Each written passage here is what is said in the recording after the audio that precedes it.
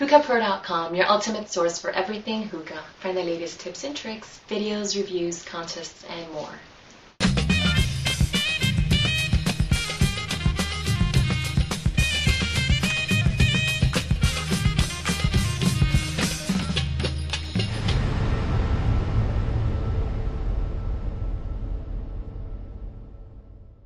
How's it going, Hookah Pro? Uh, this is Rider Die 81. Mac Minter.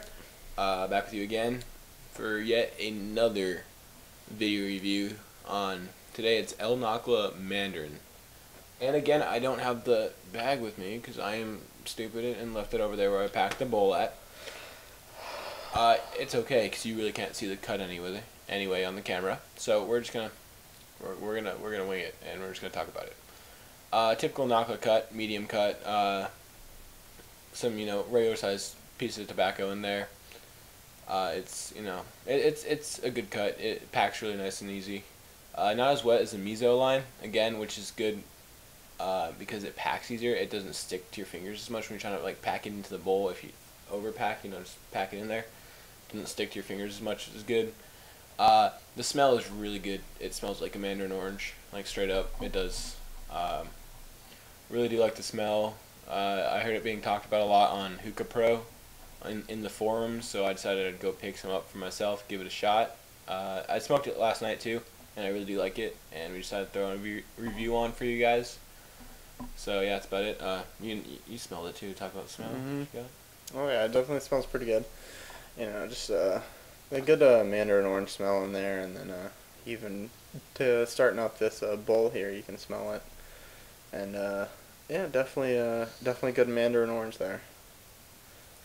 All right, uh, let's see how it smokes. Uh, again, we got large Egyptian clay bowl, three coconuts. Got the wind cover on there to get started up. Uh, the uh, Razin or Razan hose, I've heard it pronounced both ways.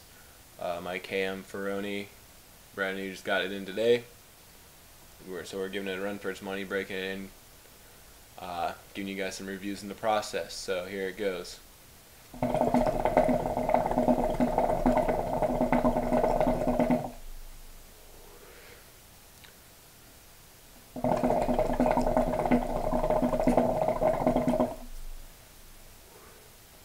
Uh, smoke isn't super good right now. Actually, I'm gonna mess with, mess with these coals a little bit.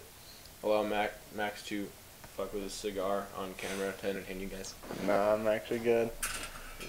I'm just gonna make everyone awkwardly wait while you do your thing, and then try breaking it again. It's about to break. That's awesome. Just, just, just. You know, I think you should probably try something that is better than two monster cans stuck Hey. This is my wind cover, you guys. I'm gonna, show you guys. It's my monster can. Um, Dub edition. Dub edition, and it wasn't tall enough for a KM hookah. So he, he took one, cut it in half, and then folded out some little bit on there as like uh, grips, and then stuck it together. And so that's what we've been using for a wind cover. so it falls off all the time, Mm-hmm. And it doesn't work super well, but it keeps heat in there, so I don't mind that much. It, d- it does a job, well, although not too well. Don't worry, Could ladies and gentlemen. better. I will go pick me up a tri or quad metal wind cover, XL wind cover soon enough, There you go. and so I have a, a real wind cover. Finally, um, yeah, no, right? Super new, nice KM You could probably just. monster wind cover. Anyway, uh, yeah, were they, they were kind of black on that one side from starting up the bowl. Uh, just put it on the hot side, flipped them. Uh, let's see, we can smoke any better now.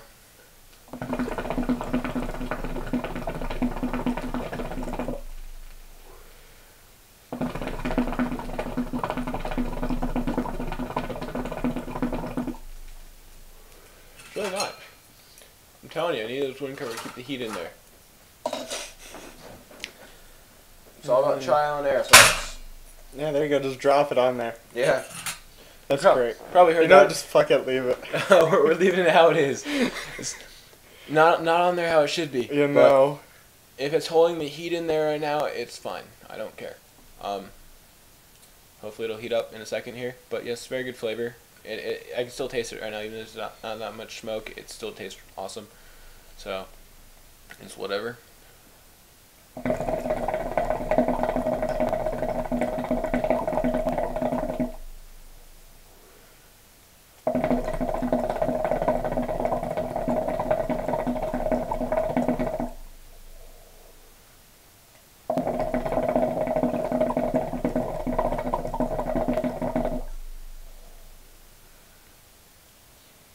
Right, well, it's starting to go a little bit. Uh, smoke's getting a bit thicker. Um, yeah, the, the, the coals were. Uh, I used one of my last bowl, just threw on another bowl here. So the coals are a bit smaller, so not as much heat as you know. Nakhla loves its heat, and it's a pretty big bowl, so three kind of small cocos. Uh, not giving it, it the heat it needs really. Clouds really don't matter though. I mean, it's, you still get the flavor, and it's a really good flavor.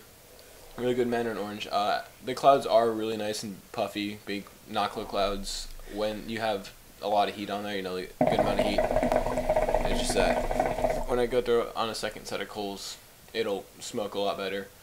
But the flavor's still there. It's a good it's a good mandarin orange. I really do like it. It's they hit they hit the nail on the head with the orange flavor. It's like you, you get the sweetness in there of an orange, but you also get a little bit of a bitterness, which is you know like a natural orange. It's not a candy-ish orange really. It's a natural orange. You get the bitter flavor in there too from the orange. I really do like it. It's it's a good flavor, and uh, probably it's a lot of hookah. Uh, it'd probably be a really good mixer as well. I could see it being mixed well. I I have a few other fruit Nakhla flavors. I have watermelon and the sweet melon. Mhm. I could see a triple fruit mix being very good. Uh, it, it's it's really good by itself, and it'd be really good as a mixer too. So it's it's a good all around tobacco. I'm gonna give this one a rating. I'm gonna give it a nine out of ten. Because it there are good clouds when you put more heat on it. You get really good clouds. Um,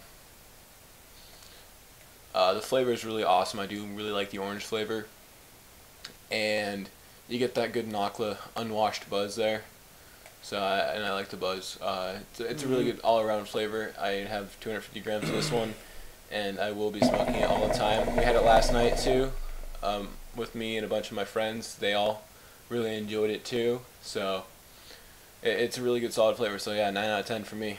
Uh, Mac Minter, your opinions?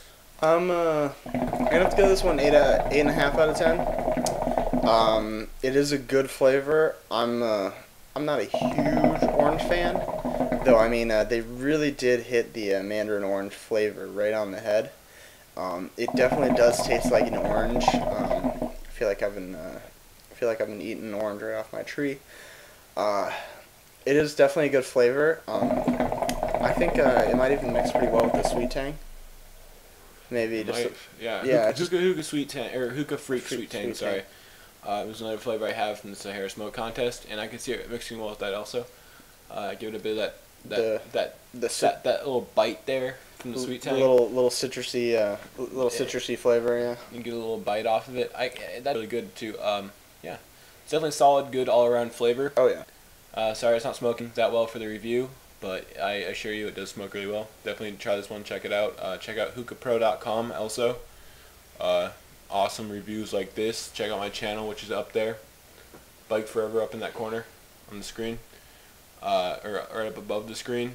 Uh, check out the rest of my videos. Uh, it's been Rider Die 81 And Mac for hookahpro.com. We're going to enjoy the rest of this Nakhla Mandarin. And we will see you guys in the forums on hookahpro.com. Peace out. Cheers.